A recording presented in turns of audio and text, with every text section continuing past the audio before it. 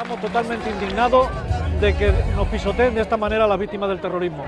No he visto a nadie que en 24 horas a partir de la sentencia se encuentren en la calle, tanto como el Trotiño como la del Río y compañía. El asesino de del Río quiso matarme cuando yo tenía 26 años. La política se ha metido por medio y nos ha, nos, ha dejado un poco tocados. Socialista, PP y a todos los, políticos. Esto lo tienen que solucionar ellos. Esto nos han metido en un embrollo muy mentira, aquí no ha habido guerra, aquí no ha habido conflictos, aquí ha habido asesinos y víctimas inocentes.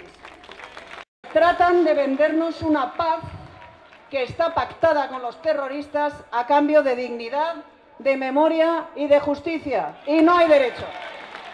Y tampoco es justicia que este gobierno tarde 24 horas en ejecutar esa sentencia. Eso es ignominia.